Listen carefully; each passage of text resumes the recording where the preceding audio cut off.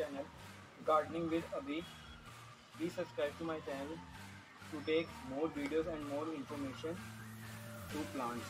आज हम बात करेंगे लेमन प्लांट के ऊपर कि लेमन प्लांट की कैसे केयर करनी है और कैसे इसको फर्टिलाइज़र देना है, कैसे इस पर ज़्यादा से ज़्यादा लेमन हमें लेने हैं पूरी गर्मियों में, क्योंकि इनका सीज़न अब स्टार्ट हो गया है तो जैसे कि आपको ही पता है कि अब मार्केट में भी सब जगह नर्सरीज में भी लेमन मिलने लग गए हैं बट कुछ लेमन होते हैं जो ग्राफ्टेड होते हैं, कुछ एयर लेयरिंग वाले होते हैं और कुछ जो होते हैं वो ईयर में ईयरली जो है वो फ्रूटिंग करते हैं। बट जो ये मेरा लेमन का प्लांट है, ये मेरा 12 महीने वाला प्लांट है, जो पूरा साल फ्लावरिंग फ्रूटिंग करता है।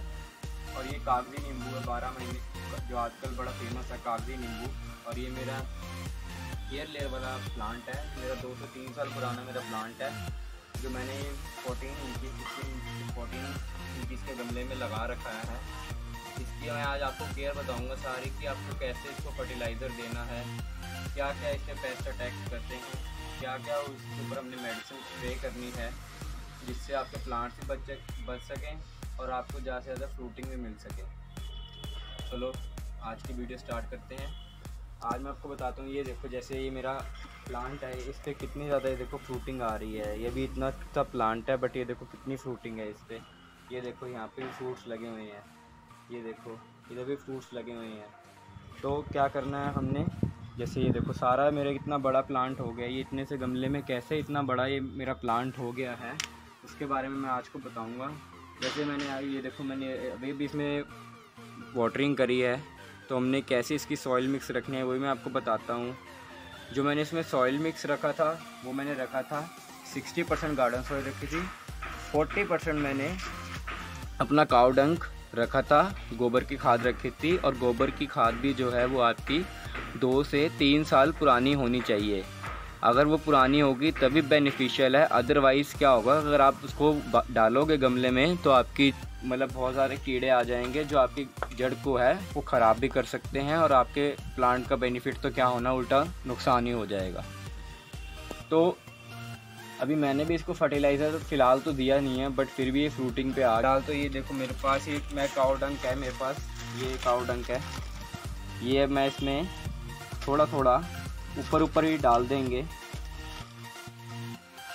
ये देखिए थोड़ा थोड़ा ऊपर ऊपर ही डाल देंगे, क्योंकि अभी क्या है, अभी फ्रूटिंग स्टार्ट हो रही है, एकदम हम गर्म दे देंगे तो प्रॉब्लम में प्लांट आ सकता है तो इसलिए हमने क्या करना है, थोड़ी थोड़ी खाद ऊपर ही डाल देनी है, जिससे क्या है कि इस, जब हम पानी देंगे तो अपने आप इसका जो थोड़ा जूस सा है, वो नीचे जाएगा और प्लांट को न्यूट्रिशन बराबर मिलता जाएगा।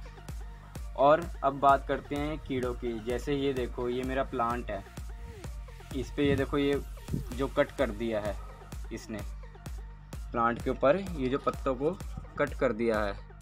तो हम इसका क्या करेंगे? ये देखो, यहाँ पे भी कट किया हुआ है। ये देखो, इधर भी जला हुआ है। ये किस लिए जला हुआ है? ये किस लिए कटा हुआ है?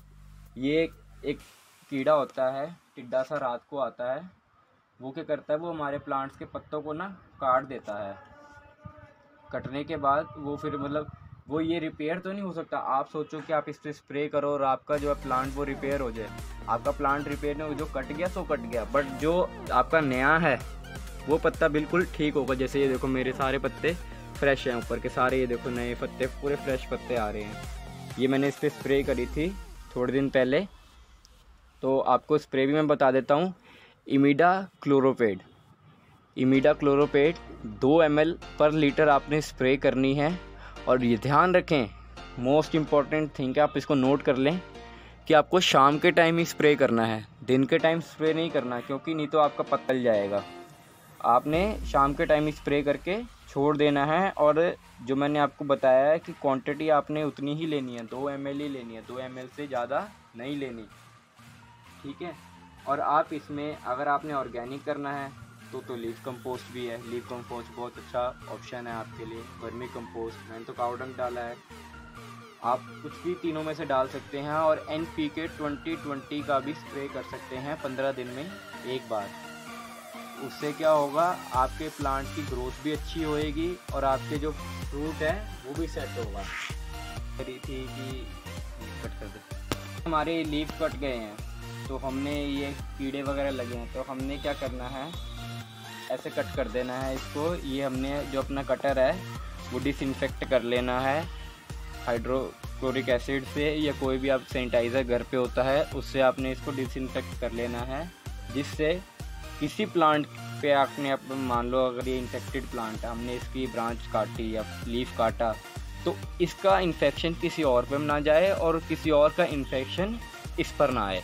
तो इस करके आपने इसको, जैसे हमें देखते हो, हमें चोट लग जाती है तो हमें वो टेटनस का इंजेक्शन लगाता है डॉक्टर वही चीज़ इनके साथ भी है। तो आपने ऐसे ही करना है। तो ये सारे देखो, ये जो ख़राब लीव्स हैं, ये हम इसके ट्रिम कर देंगे। सारे। देखो, सारे जो लीव्स हैं, वो हम इनके ट्रिम कर देंगे। फ़िलहाल तो ज़्यादा कोई नहीं थे, क्योंकि लास्ट टाइम भी मैंने इसका कर दिया था, पूरा ट्रिम कर दिया था। बट ये जो थोड़े से बचे हुए हैं, ये हम ये देखो जैसे ये लीव है। अब हम इसको भी ट्रिम कर देंगे ऐसे। ठीक है? और आप महीने में एक बार, जैसे मैं आपको बताऊँ, ये साफ़ फंदी साइड है। पंद्रह दिन में आप एक बार, महीने में एक बार।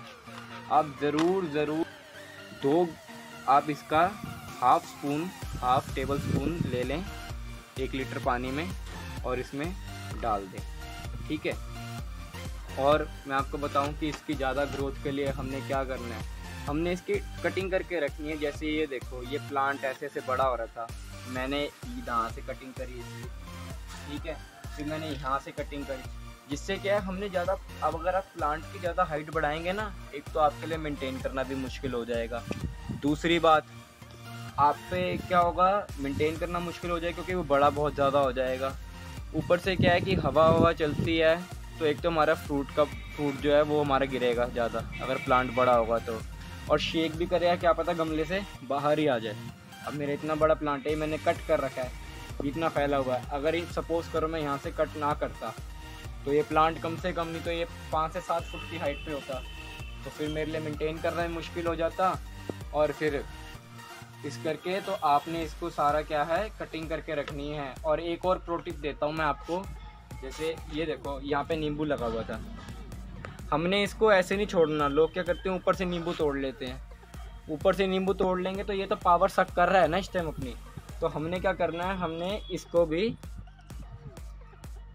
कट कर देना है ऐसे करके, जिससे यहाँ से पावर नहीं लगेगा। अब यहाँ पे भी देखना, अब नेक्स्ट वीक मंथ में आपको दिखाऊँगा कि इस पर भी अब फ्लावरिंग आनी चालू हो जाएगी और इधर इस पर भी अब नींबू लगने चालू हो जाएँगे। ठीक है? और आपने क्या करना है? इस पर पे पेस्टिसाइड का स्प्रे करते ही रहना है।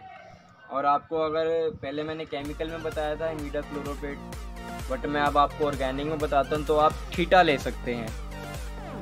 ठीटा ले लेंगे तो वो क्या माइट थ्रिप्स ये आपके जो पत्ते काटने वाले कीड़े हैं, ये सबका एक ही रामबाण समाधान है ठीटा ऑर्गेनिक है बायो प्रोडक्ट है, ज़्यादा महँगा भी नहीं है अच्छा भी है और उसकी डोज भी आपने ये नहीं है कि बायो है नेचु अपना नेचुरल है तो हम उसको डाल दी जितनी मर्ज़ी इसमें डालनी है आपने। नहीं, आपने उसकी भी दो से दो एमएल या पाँच एम पर लीटर डाल के शाम के टाइम ही स्प्रे करनी है, जिससे आपके प्लांट पे कीड़े वगैरह नहीं आएँगे और शूटिंग